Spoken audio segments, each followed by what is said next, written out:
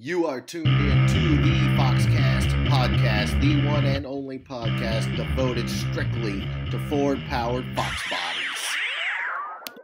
What's up, everybody, and welcome to the Foxcast podcast. We are on location in Bowling Green, Kentucky, and I have got two extremely special guests with me today. We are inside out of the rain, waiting for them to dry the track off, and uh, took an awesome opportunity to meet two icons of the Mustang industry. The first is editor Steve Turner from uh, 50 Mustang Magazine previously. Um, Steve has now moved on to SVT Performance and, um, you know, comes all the way from Florida up to Bowling Green to check out the action, cover the action. Uh, we also have KJ Jones here with us today, which is also from 50 Mustang and Super Ford Magazine fame. Um, KJ has also moved on as well. Uh, he's with Diesel Performance. So, what's up, guys? How's everything going? Hey, Caleb, how are you, man? Doing Good. great. Thanks for having us. Wanted to really, really thank you guys for uh, giving me this opportunity and, and giving the fans opportunity just to kind of pick your brain, get inside your head about, um, you know, what it's like on the other side of, of the magazine and, and to see all the awesome parts and the awesome cars and, um, um, all the new products, all all the fantastic things that we read about and love in the magazine um, that you guys bring to light. So, um, you know, that's what I really wanted to get into first. I mean, if you think about it, you know, a Ford guy or a car guy in general, you know, their their dream job, I would assume, would probably be a uh, you know working with a magazine. So, Steve, talk a little bit about that. Well, I got my start in in magazines kind of that way. You know, I was a reader of magazines and a, a fan of Mustangs, and you know, got really into the five liter scene and followed it, you know, very very closely. And I was in college, and uh, I needed to do an internship to complete my college. So I just was reading Super Ford magazine one day, and I was like, "Hey, these guys are pretty close to where I am." So uh, I, you know, called them up and said, "Hey, could you guys use an intern?" And they surprisingly said yes. So I went down for the summer, and you know, I, like you're saying, you know, you're a car guy, and you get in behind that, and you know, I thought it was the coolest thing ever. That, but I thought it was only going to be for that summer, you know. And I, I was just telling KJ last night, you know, one of the things that I got to do while I was there, you know, I had to do a lot of busy work as an intern, but they started to let me do, you know, write stories, and then one day they, they got back from the 5 shootout and they had all the photos and they let me sort them and I just thought that was the greatest greatest thing ever Oh, yeah. because I'd been following these cars you know from the outside and uh, you know it just worked out that you know I completed college and they called me up and said hey you want a job and you know the rest is history The rest is like Absolutely. history, And you were there from '99 to '14. Is that correct? I, on 5 I was from 99 to 14 but previous to that I started in 1994 on Super Ford magazine Super So- Ford. Back in the days of the GT40 intakes and the whale tails. Yeah. Oh, yeah. The good old days. So, KJ, tell us a little bit about your experience.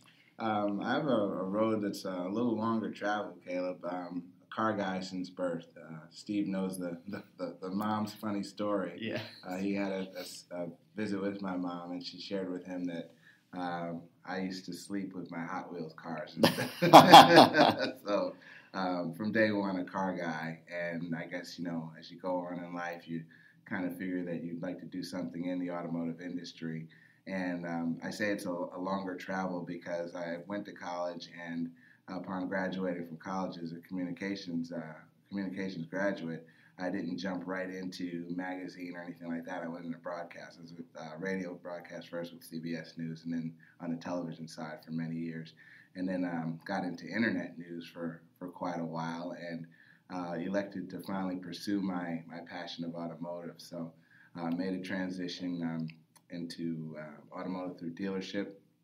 And then uh, the internet started bringing itself to light, and through Mustang forums and finding like-minded, you know, people and friends and stuff, and communicating with them online, um, and becoming somewhat of, a, of an answer person. Because I, uh, let me go back. I got into Mustangs, of course, um, and immersed myself in them because I thought they were really cool cars and the performance and, and all that type of stuff. So um, when the internet came on and people asking questions about the cars and that type of thing, and answering to the best of my knowledge based on what I've experienced or what I could find out, uh, I guess I acquired a talent for you know knowing about them and being able to communicate about them. So um, from there, uh, opportunities came up to freelance right, and uh, and from the freelance, it, it, eventually turned into a job with Five O.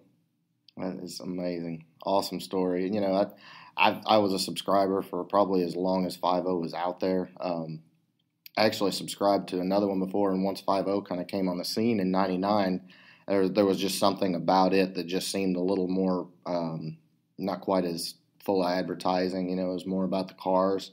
Um, and most of the the guys that I talked to that I used to hang out with, you know, kind of felt the same way. Five O kind of took over. Um, you know, always loved the articles, the features. Um, they just seemed a little more realistic as far as the the car goes. They weren't such a pie in the sky type of thing. Um, so huge fan of the magazine. Um, so obviously, um, Steve, you've moved on to SVT Performance. How's everything going over there? It's going great. It's a it's a bit more frenetic pace than it was in the magazine world. You know, we had a more structured, you know, get out a magazine every month, and, and now it's uh, get something up every day. So it's uh, it keeps me very busy. But it's been pretty exciting to you know to build something up and obviously still stay in the Ford world and be able to you know talk about these cars that I love and you know do my thing. It's been cool. So KJ, how about diesel performance? What's going on? Diesel power. It's, it's, I'm sorry. It's okay. it's, it's, it's, diesel power, and uh, I've been on diesel power now for a little more than a year, and uh, it's actually been going well. Of course, when I uh, got the job at Diesel Power, it was somewhat of a, I guess you could say, a surprise or, or a shock even to the Mustang scene, where you know a guy who's been uh, the senior tech editor of 5.0 for many years and um, for all intents and purposes, just you know, Mustangs are what he does. To say, you know, I'm transitioning to something that um, beyond having a, a, a, tow vehicle that's a diesel, what does he know about them, and et cetera. But uh, the opportunity came up to to lead a magazine and to you know be the editor and and actually learn something new. So uh, I had to go for it. It's been really good. It's it's been uh, interesting definitely challenging, but um, something that I've shared with Steve many times is that uh, I guess even subliminally, subliminally through through just watching what he does, he never sat down and said, "This is what you do to be an editor," but um, through the moves that he made with 5.0, and I guess my own paying attention to them, I've been able to apply a lot of that to the diesel power administrator side and operation side, and it's been going very well. That's awesome. I mean, but you think about it. I mean, who doesn't love a diesel truck? You know, it's it's ridiculous. I mean, they're kind of um, they're not something that's mutually exclusive. So yeah, I mean, right. I totally totally get what you're saying. So um, let's shift gears a little bit. Um, both of you guys have very popular and uh, extremely cool uh, Fox bodies that that we got to kind of see build um, throughout the life of Five O magazine. And Steve, yours is the Fox 500. Give us some details on the Fox 500. Well, that was a, a crazy plan that I hatched when I, I came across a a T-top hatch, which uh, you know I'd never really seen one of those in person. I, you know, I, would always, you know, of, of, an aero nose era. I'd always seen the earlier, you know, four-eyed T-top cars, and I was just like, well, you know, once I figured out it was real, I was like, I got to have this thing. And then once I had it, I was like, well, it'd be kind of cool to do something different. You know, everyone, you know, I could put you know heads and cam and do all that stuff. But it'd be really fun to do something different. And at the time, the GT500 had had just come out, and it has this big 5.4 supercharged engine. I was like, you know, wouldn't it be cool to you know kind of fuse these two eras together? And as you might imagine, it wasn't as easy as, as, as just doing that. Um, you know, fortunately, we were able to partner up with Paul's High Performance up in Michigan who had a lot of experience. You know, they had put they had built a car that had a Ford GT engine in it.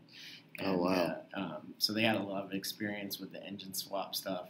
And uh, Ford Performance Racing Parts was just coming out with their uh, control packs. You know, they're very very popular with the sure. Coyote engines now, but the GT500 one was one of the first ones that they developed. And my car sort of became a test bed for that project. They they basically took a GT500 processor and kind of took out some of the programming to make it work. And, oh, wow. and you know, that was sort of the, the beginnings of those. So it, uh, it, it took a lot of cu- there's a lot of custom work in that car. You know, it has you know GT500 front brakes. You know, they had to modify SN95 spindles to fit the front brakes. You know, it's got a T56. It's you know at full maximum uh, suspension on it, and uh, you know, there, there's a lot to it.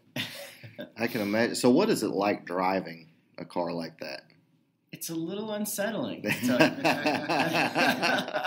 truth. because uh, you know I, I also have a GT500, and you know those cars are quite a bit heavier, right? Absolutely. Quite a bit more solid. So, you know, in a Fox, that sort of torque and everything, and, and you know, the car's got a you know a cage and subframe connectors, but it still kind of moves around a little bit. Sure. And, you know, it's it's it's a bit like you know a go kart with a you know Hayabusa. In it. you know, it's, it's like you're not really sure you know how far you want to push this thing, but when you do, it is a heck of a lot of fun. Right. And and that was one thing that I did want to talk about is you've obviously got Project Vapor Trail, which is your 08 GT500, Yes. and then obviously the Fox. So, you know, as and I'm guessing you guys are probably as hardcore Fox enthusiasts as I am and, you know, kind of the the whole purist thing.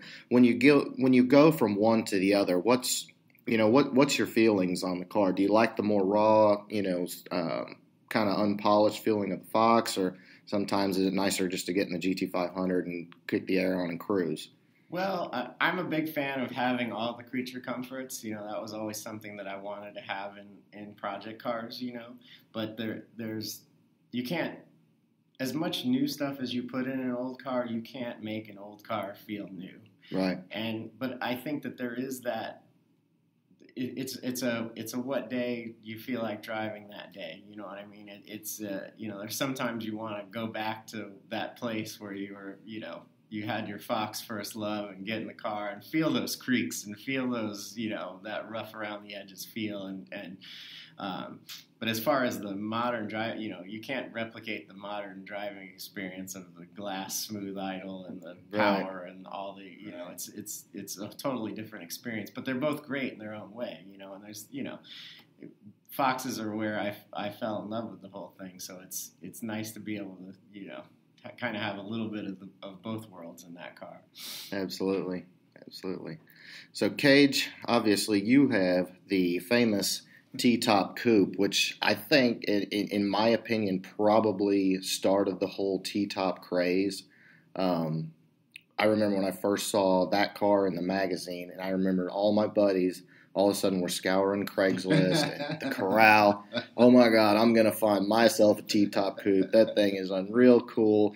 Um, talk about the T top coupe a little bit. Um, well, Caleb, uh, the T-top coupe, a, a, a T-top coupe in general, um, had, had been in my head for many, many, many, many years. Um, my first Mustang was a T-top car. My gray Mustang was a T-top car, and I'll, I'll put this on the record. I've said this many times. I'm technically not a T-top guy, and I've had several T-top cars beyond the coupe. It's just a matter of good deals coming my way. So Sure, you know, sure. go ahead and pick them up. But I really did not like T-top cars very much. However, um, where I grew up, uh, in the area where I grew up, and when I got into Mustangs, there was a guy, and I will say his name. His name is Mike Resta. Mike Resta worked at an auto parts store, and he owned the first T-top coupe I ever saw. Wow. And and th- this is going back, gosh, to the early '90s. Is he had a it was an '85 or an '86? I think it was an '85. I believe it was carbureted, but um, it was a T-top coupe. It was the, like the car I have now, and I could not believe that. You know, did you make that yourself? I mean, I went through the whole. that that doesn't exist. You couldn't have got a dealership, the whole thing. Um, but Mike owned one, and uh, I moved on in life, and but it just stayed in my head. Like there's a T-top coupe out there, and it, you'd sit around with Mustang guys, or whatever, and you're bench racing and that kind of thing. You, you guys ever seen a T-top coupe? Ah, there's no such thing as a T-top coupe. you kidding me? Ah, you, you know, you're crazy. And then, as I said earlier, with the internet coming about, and you're on forums discussing, it, and you just type something like that. I remember I, I you know, in a forum, yeah, so there's a T-top coupe. No way, you're crazy. You don't know anything. You know what the heck are talking about? Um, but go to the internet and on uh, it was hardcore50.com, um, one of the popular sites back in the day. Uh, a guy posted, um, "I have this car for sale," and I looked and I was like, "You got to be kidding!" You know, like no way. Right. No way. And he happened to live in California. It just it just worked out. So I I mean I messaged him right away and you know blah blah blah blah. I got to get this car. Let's just make it happen. He happened to be on vacation. I had to wait for him to get back from vacation. It's like, do not give this car to anyone else. And I let Steve know about it. And Steve was like, oh, no way. There's no such thing as a T-top. What are you crazy? and to, to, go on the record, I am a T-top guy. 82 GT with T-tops was the car that really put me down this path. So, uh-huh. you know, I had always wanted to get a T-top car. So when he started talking about getting this, I was like, "That's cool," you know. you know, so I was all on board with this, this yeah. T-top thing. Yep. I um, I anyway, I loaded up my my trailer, took my truck and trailer out. I, I drove a collective. Uh, and this is still in the state of California, but I had to go to the edge of California to pick the car up. So a collective 400 some odd miles on the road mm. to pick the coupe up, and, and it was it was it was what it was, but it wasn't ready for uh, public consumption immediately. But we hatched the plan. Um, you know, what can we do with this? And Hot Rod Magazine had its Drag Week program. Uh, that was one of the I think it was the first years when I got the car, and thought it'd be a cool idea to kind of build it around Drag Week, where it's a car that you can get in and drive and be comfortable. That's the full interior and stereo and you know all the things that it has in it. Yet um, at the time, the goal was some, somewhere in the area of 650 horsepower, and uh, you know have some fun with it. But it was a learning process. You, you build the car, and, and you're, you're, coming along and discovering things, and uh, and and all of a sudden your plan becomes another plan, and that becomes another plan, and that becomes sure. another plan, that becomes another plan. And what was really cool was, like you're saying, um, the internet and, and Mustang enthusiasts reading 5.0 embraced that project. They really did. And, and I would see people at events and stuff and, hey, did you bring the coupe with you? like, like, really? You know, it was kind of cool. And it still is cool, actually, to, uh, in a sense, have, have a, a car, own a car, and have put together a car that's like a real legacy in this game. I mean, a lot of people have said that. And it's sort of difficult for me sometimes to, to grasp it because I'm not really that that that dude, but people sure. really really do come out and, and, they appreciated that whole building project, and uh, I'm, I'm very happy about that. I think it's worth noting though that there there was some pushback on both of our cars from the purist types because they're they are somewhat rare vehicles, right? Mm-hmm. And we yeah. did some pretty radical things to these rare vehicles. but you know, I, being that we were both passionate about the Fox cars, you know, we we tried to, you know, we kind of called it, you know, Fox rodding, you know, like exactly. We, we, wanted to push forward the Fox into, you know, keeping it alive and and having people do these more, you know, outlandish things, you know, to and not just let them run into the ground and right. and you know go by the wayside. So you know that was part of our mindset as well to try to keep the car alive and vibrant as a as a project vehicle and as as the industry goes, uh, both projects, uh, the Coupe first, and then Steve's project, um, those projects kind of push the industry into um, developing new products. There are several pe- several features on on T Top Coupe that hey, why don't you guys do this? I think that that Fox Mustangs are still viable enough for you to invest in producing this you know component, and in a sense, you know, through the magazine, if they read it, they will come you know, and there were several pieces on on T Top Coupe that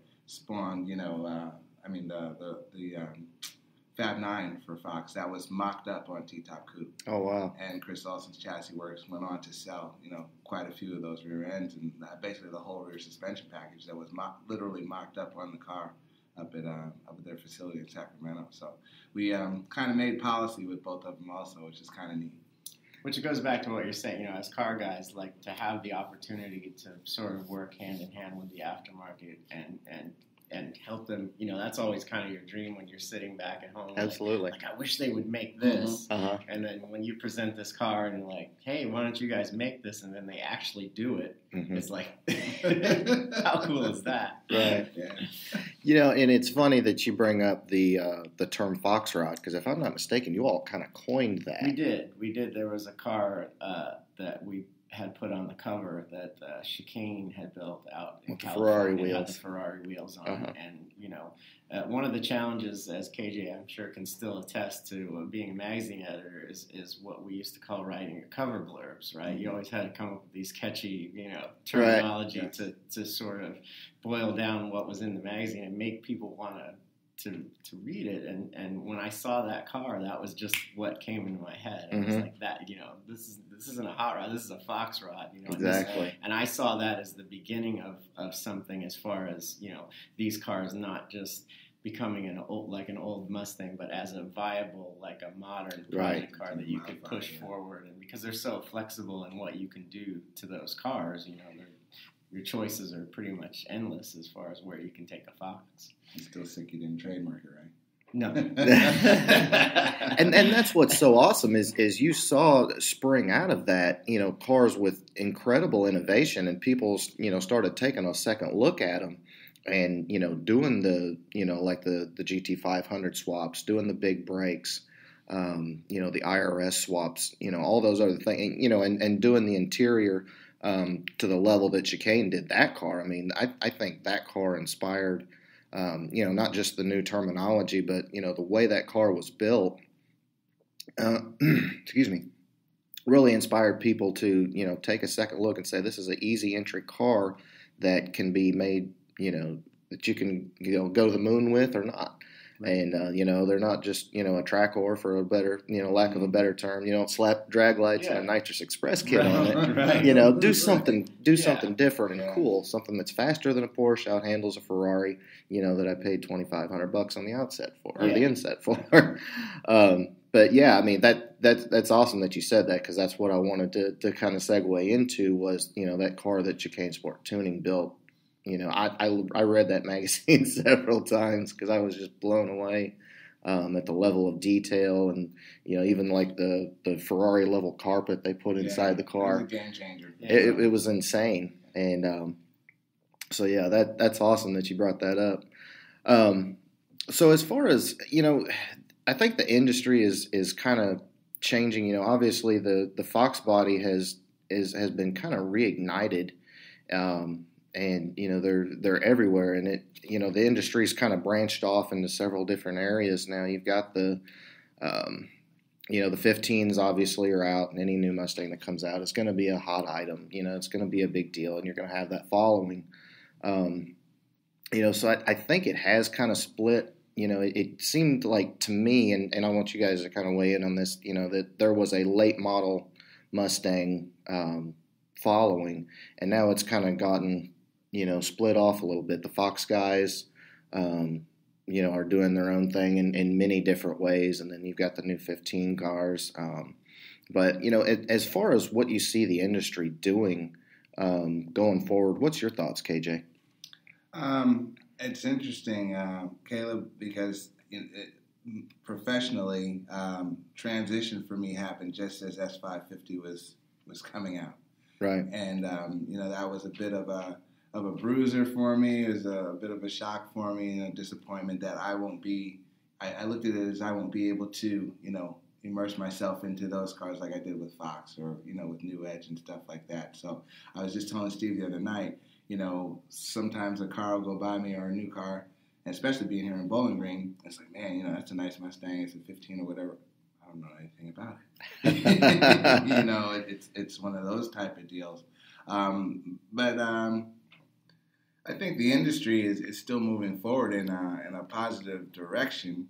Um, companies are, are embracing S550 and you know figuring the car out. Of course, it's it's uh, night and day different in a lot of ways to Mustangs that preceded it with the uh, the IRS and some of the uh, other nuances that they put in the chassis of the car and such. But uh, going forward, I, I, believe that Mustang is still going to be strong. It's funny or interesting you, that you noted um, there are now factions of, of Fox, uh, SN95, New Edge, S197. It's not a collective Mustang enthusiast or, or Mustang guy, if you will, versus I have an S550 or I have an S197. You know, the, the, the whole group that doesn't come together like it used to.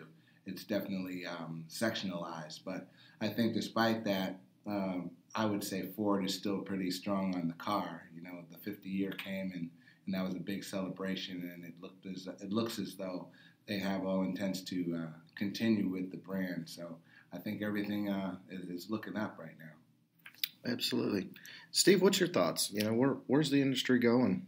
Well, first of all, I don't think the that stratification is really that new. You know, when I started on Super Ford, I was kind of the punk kid that was pushing to do more Fox Mustangs in a magazine that had a bunch of galaxies and all this stuff. And and the old school Ford guys really were like, "Oh, we don't want anything to do with this new Fox Mustang." You know, so then we had that long stretch of you know Fox had a nice long run, so everyone was one big happy family there. But Right. every every era has its you know its fan base, and they they all kind of stick together. Just like if you go to a car show, like the guys with the vintage Mustangs don't really associate with the guys with the you know Right. S one ninety sevens. There's always been kind of that cliquey nature to it. But uh, you know, I think it's it's as KJ said, it's you know it's still going forward in a really positive direction. I think that the the 2015 Mustang has uh, it's appealed to both guys that have Mustangs, and it's brought a, a, whole new crowd into the car as as kind of each generation has. They've made the car better and more refined, and it's it's attracted a new customer. I think the newer cars are more of a it's more of a bolt-on crowd at this point, right? It's a it's a pricey car, so you're not going to get too crazy. I, th- I think the, uh, the the the realm of the project car, if you will, is, is still like a Fox Mustang is is ripe for the picking. But you know, I kind of see the S one S one ninety seven era as as a potential newer Fox, you know, type of approach because those cars are there was a long run of them. You know, there, there's a lot of parts and and they're becoming more affordable to use as a basis for a project car as well. Yeah, I gotta agree with you there, and a lot of the reason is, um, you know, Mustang guys are pretty much uh, stick axle fans. You know, we do a lot of drag racing, um, stuff like that. Very resistant to the IRS. I think for a while there, the uh, the Terminators were probably one of the most uh, popular upgrades was putting a stick axle into Right. the car. Yeah.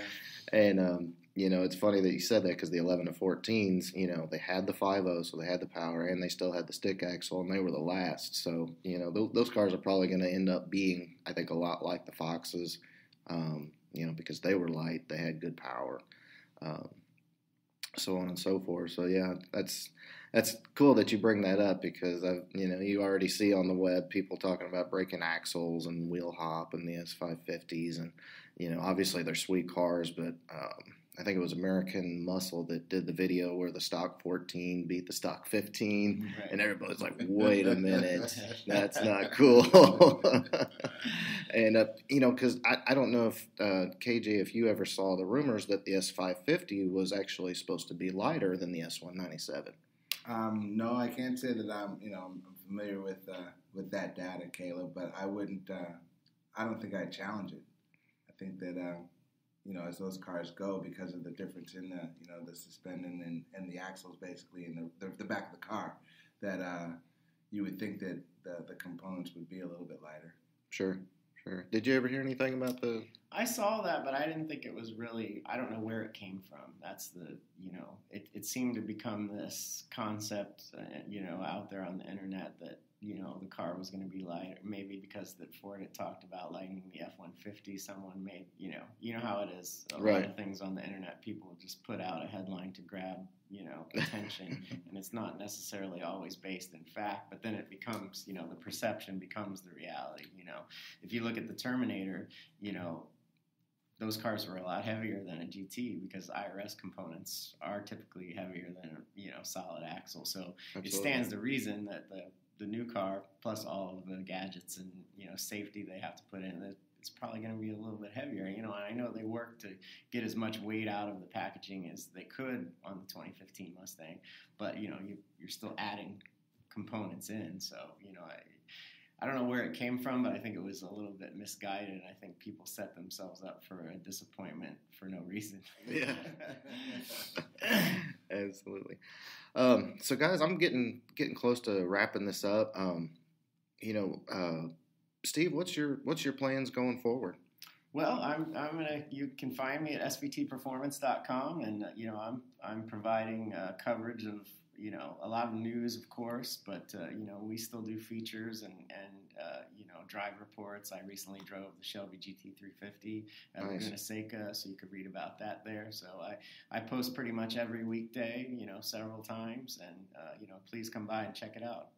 All right, so you can connect with him at svtperformance.com. If you hadn't signed up, huge community over there. Definitely check that out. Um, KJ, how can we keep up with you? Well, uh, you know, again, I'm in a different space now, working with uh, Diesel Power, but you can catch up with me through trucktrend.com and, uh, of course, Diesel Power Magazine.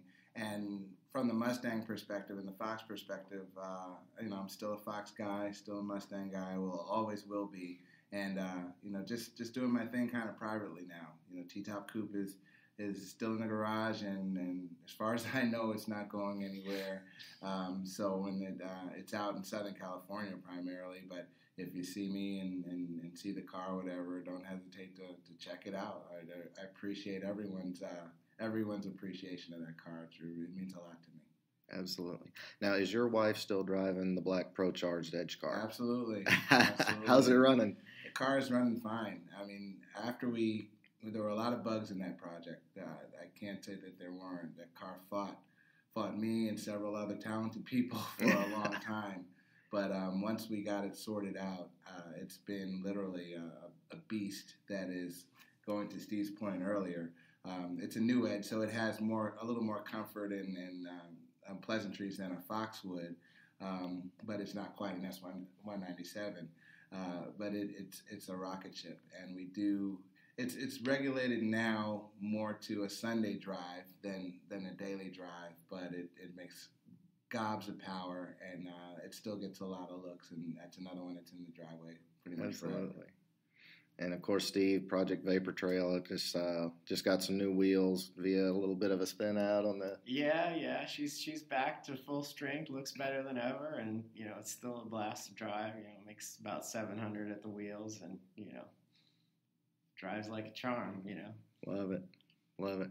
Well, guys, I, I definitely wanted to uh, thank you for giving me this opportunity here in Bowling Green, um, here at the World Finals, kind of the culmination of the of the drag racing year, and um, to to sit down and, and, just talk cars, talk Mustangs, and uh, um, you know let everybody hear kind of what uh, what your background is and all the all the secrets in the industry and um, but again, I wanted to thank you for coming on the Foxcast, and uh, you know, hope to stay in touch and uh, maybe do this again sometime.